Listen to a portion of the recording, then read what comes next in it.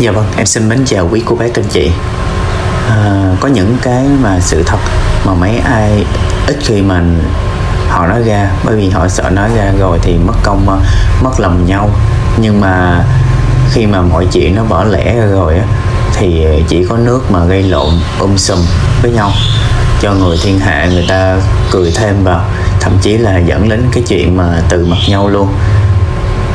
Thì uh, trong đó thì phải nói là có hàng tá những cái câu chuyện mà nó liên quan đến ờ, những cái người Việt Nam sống tại nước ngoài. Và bà con ờ, dòng họ, thân nhân trong gia đình ở quê nhà Việt Nam, họ mâu thuẫn với nhau. Họ mâu thuẫn với nhau khi mà trở về đây. Và cũng đừng có nói là không có bởi vì ờ, nhiều người có nói rằng ơi thấy Việt Kiều về đây thường là vui vẻ. Năm nào cũng về vui vẻ bình thường thường. Năm nào họ cũng về bình thường. Có ai nghe nói, họ nói là bực mình hay là đụng chuyện gì đâu. Thì đúng là họ không có nói, không bao giờ dám nói và cũng không bao giờ dám chia sẻ. Vì khi mà họ chia sẻ ra rồi á, thì toàn bị hâm đánh rồi chém rồi có người còn bị dọa là về Việt Nam sẽ lấy búa đập vào đầu mày nữa. Quý vị ở đây có ai à, tin và có là có cái chuyện à, này hay không? À, ngày hôm nay em muốn chia sẻ cho quý vị một cái câu chuyện cũng chờ ơi đất hỡi. Vừa buồn vừa tức và cũng rất là nhói lòng nhói lòng cho cái anh Việt Kiều này. Thôi thì em xin đi thẳng vào câu chuyện nhanh luôn thì à, anh Tấn là một uh, Việt kiều sống ở Mỹ và quê của ảnh là ở Cần Thơ. Thì à, nhà của ảnh ở Cần Thơ quê nhà thì nằm ở ven cái vùng sông Hậu quý vị. Thì nhiều năm liền ảnh đi làm bên Mỹ để tích góp để tích góp cũng như là cái chỗ ở của ảnh hiện tại á, cũng không có được uh, kiểu như cháu rất là chấp vá luôn quý vị anh phải mướn cái gara của người ta để ở tạm, chứ cũng không phải là một cái nhà nữa. Để ảnh dành dụm dành dụm hết tất cả các tiền, số tiền mà ảnh làm được. Để anh gửi về quê nhà cho mẹ ảnh cất nhà. Thì ảnh có hiếu như vậy là quá có hiếu rồi quý vị. Mà sau khi ảnh gửi tiền về thì quê nhà cũng được xây cái nhà mới rất là khang trang và đẹp quý vị. Nhà thì à, sát mé sông cho nên xây mới rồi lúc mà buổi chiều nhìn ra rất là chiêu chiêu, mát mát. Và sau khi mà xây xong rồi á, thì ảnh mới nhận được một phone của mẹ ảnh gọi qua bằng Facebook. Thì ảnh mới thắc mắc, mẹ ảnh có gọi qua và nói là xin tiền để gửi tiền về để mua một cái máy lạnh. Thì ảnh mới có thắc mắc đó là ở nhà gần xong rồi, mà cần chi phải gắn máy lạnh? Rồi à, lúc này ảnh mới điện thoại ngược về cho em gái của ảnh. Ảnh hỏi tình tình hình, tình trạng. Thì em gái của ảnh mới nói, mẹ mẹ là mẹ đang bị bệnh đau khớp. Bác sĩ bắt là phải nằm cái máy lạnh để cho bớt đau. Thì lúc này nghe được như vậy thì ảnh là có hiếu sẵn mà.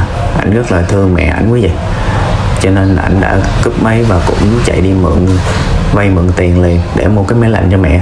Lúc này anh phải vay mượn tiền nha quý vị. Chứ chưa có tiền sẵn ở trong người đâu. Phải vay mượn hết người này người nọ. Vay mượn à, từng người. Người 40 đồng người 50 đồng để tích góp được 200 cuối cùng cũng được 200 thì ảnh mới gửi về cho mẹ để mua máy lạnh. Thì à, lúc này ở quê nhà thì cứ nghĩ là anh này rất là dễ. Cứ nói mèo là sẽ làm à, con mèo con gà thì là con gà. Còn ảnh thì ảnh cũng không quan tâm gì tại vì ảnh thương mẹ ảnh mà. Cho nên ảnh cũng kệ. Mình sao cũng được miễn là mẹ mình ok là được rồi. Mà có ai biết đâu là ảnh phải đang ở cái cái gara của cái gara xe hơi của người ta thôi chứ không phải là cái nhà nữa mà bên nước ngoài á bên hoa kỳ á mà trời nóng á, mùa hè á, thì rất là nóng nóng như đổ lửa vậy thì anh tấn chỉ dám xài cây quạt thôi mua ở chợ trời đó quý vị. Thì đến cuối năm 2023 thì anh Tấn mới sắp xếp để về thăm nhà. Thì nào ngờ vừa về đến nhà thì thấy mẹ mình nằm trên cái giường. Thì ngay cái phòng khách đó còn cái phòng ngủ mà có gắn cái máy lạnh á thì ở trên lầu á, thì là vợ chồng của con nhỏ em đã chiếm lấy cái phòng đó và nằm. Nên anh mới hỏi là tại sao mấy đứa bay lại không cho mẹ nằm ở trên, lâu mà lại bắt mẹ nằm ở dưới nóng như vậy? Mẹ thì mẹ bị huyết thì cô em gái mới trả lời là mẹ thì mẹ bị huyết áp lên xuống chi cho nguy hiểm với mệt. Thì ngay lập tức anh Tấn cũng đã kêu thợ tới đem cái máy lạnh từ trên lầu xuống gắm ở dưới phòng khách để cho mẹ ảnh liền.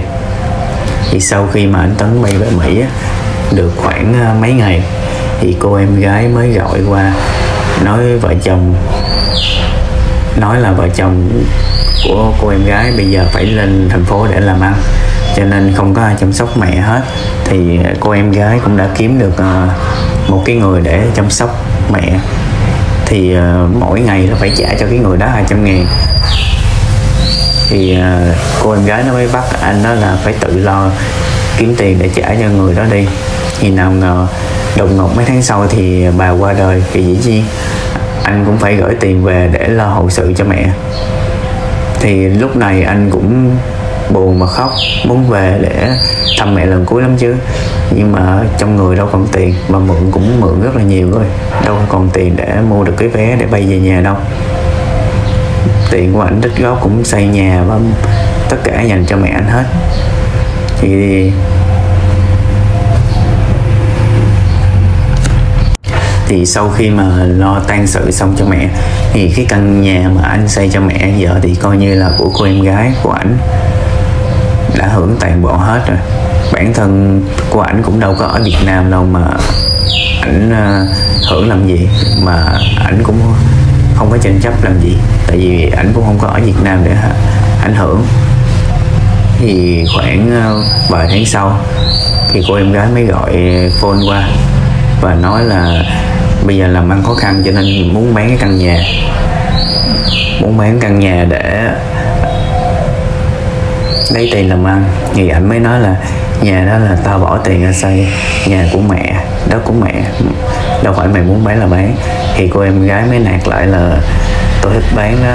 Anh muốn gì thì về đây. Nhà này bây giờ là nhà của tôi. Thì lúc này nghe xong thì anh đã cướp máy luôn. Và từ đó đến anh đã không còn liên lạc. Không còn liên lạc đến người em gái. Coi như anh từ mặt người em gái đó luôn. Dạ vâng thì quý vị vừa mới nghe một câu chuyện khá là buồn cũng như tức và nhói lòng cho anh Tấn, một anh Việt kiều ở Mỹ thì uh, quý vị có nhận định về câu chuyện này như thế nào? Có nhận xét như thế nào? Thì có thể bình luận ở dưới để em biết thêm. Quý vị thấy video này có ý nghĩa thì cho em xin một lượt đăng ký kênh một lượt like một lượt chia sẻ để ủng hộ tinh thần trong ngày những lý tiếp theo. Em xin cảm ơn quý vị.